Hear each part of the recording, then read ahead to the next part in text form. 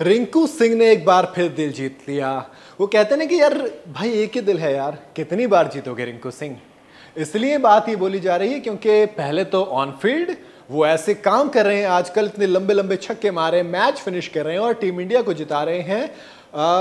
कि आप ऑटोमेटिक कहोगे, यार, रिंकू भाई ने आज दिल जीत लिया। लेकिन मैदान के बाहर सीरीज़ खत्म होती है, उसके बाद जो रिंकू सिंह एयरपोर्ट पर काम करते हैं, एक बार फिर कहेंगे कि, भाई, एक ही दिल है कितनी बार जीतोगे?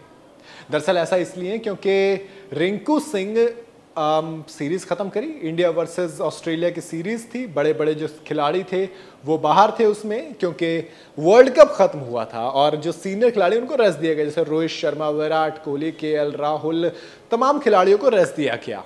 इसलिए एक नई टीम आई, यानी कि जिसमें यशस्वी जायसवाल, ऋतुराज गायकवाड, रिंकू सिंह, जितेश शर्मा शामिल थे। अब इसमें इस टीम ने कमाल की परफॉर्मेंस दी चार एक से ऑस्ट्रेलिया को हराया और उसे एक बार फिर से वापस भेज दिया।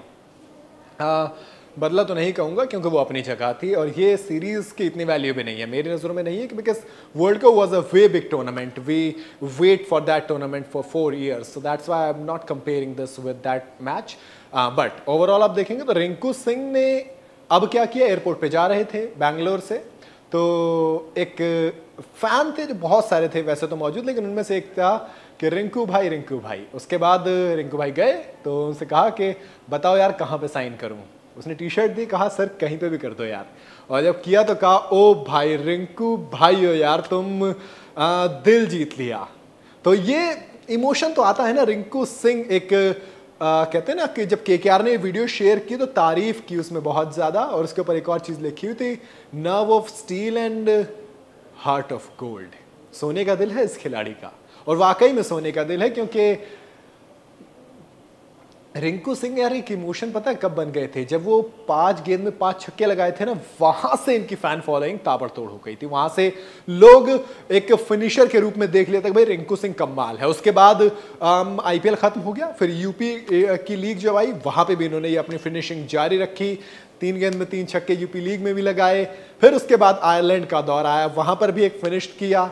फिर इंडिया वर्सेस ऑस्ट्रेलिया की इस सीरीज़ में तो कमाल किया इन्होंने। कमाल, इसलिए छियालीस इनका हाईएस्ट रहा, लेकिन ओवरऑल जब आप देखेंगे तो आप कहेंगे कि लगातार मैच फिनिश किए। तीन मैच में अच्छी पारी खेली, एक मैच में खेलने का मौका नहीं मिला और आखिरी मैच में कुछ खास कमाल कर नहीं पाए। लेकिन ओवरऑल सीरीज़ की बात करेंगे तो सोचिए सूर्य कुमार यादव ने कहा कि जिस तरह से रिंकू मैच को फिनिश कर रहे हैं, मुझे किसी की याद आती है। खैर याद तो मुझे भी आती है।